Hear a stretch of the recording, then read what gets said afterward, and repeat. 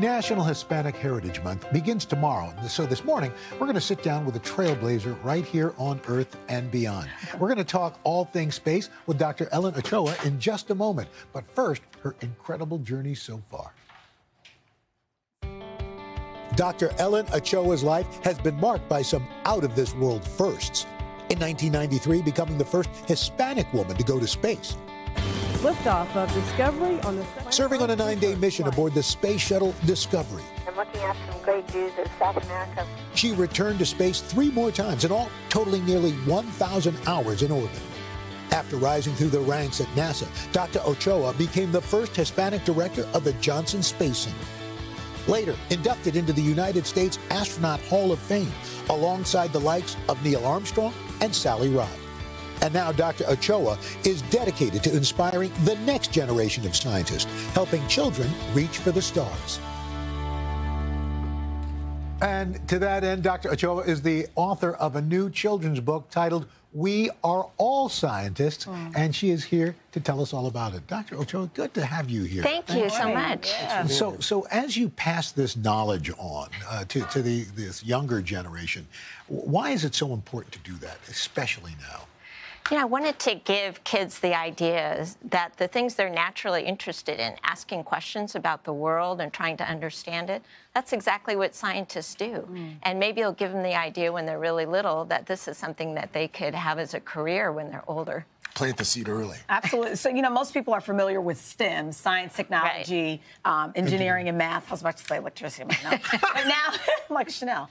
But now, and even my mom, she's an art teacher, right? Uh-huh. So she pushes STEAM, which seems right. to be the, the thought there. So we add arts in the middle. And I just read, I didn't realize that you also play the flute. Yes. So you've got both sides of the brain. I got to play my flute in space on my first wow. mission. That is awesome. Talk about that, the combining the musical and artistic mm. side with the engineering side.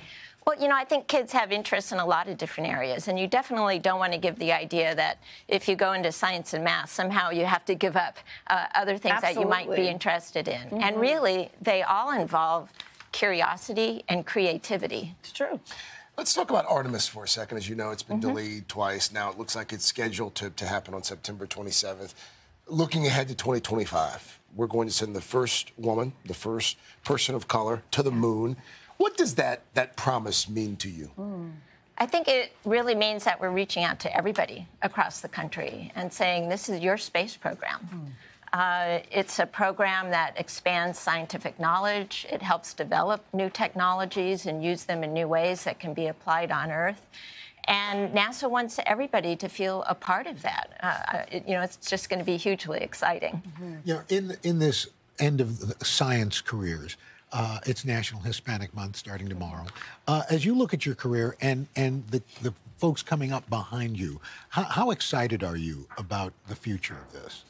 This is a great time to be in human space exploration. You know, I was really lucky to come along at the time that I did when first of all, women and and per, people of color be, got to become astronauts, which wasn't true when I was little.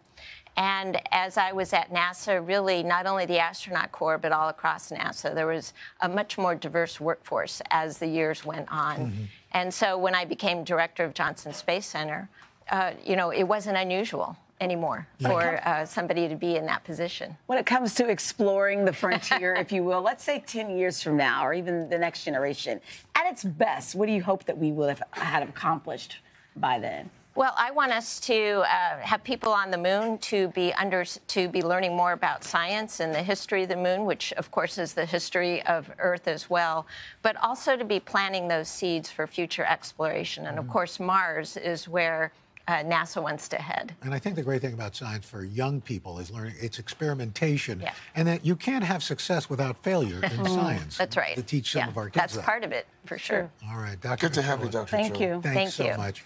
The book is We Are All Scientists, and it's out right now.